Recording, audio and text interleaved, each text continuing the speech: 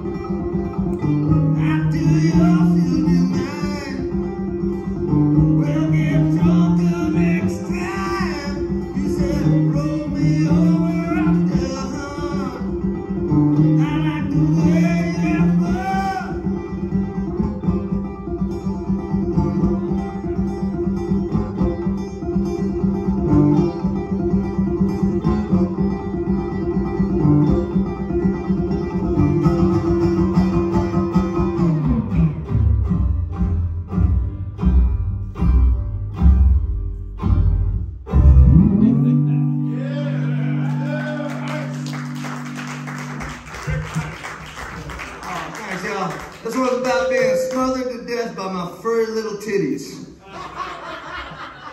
called Churn.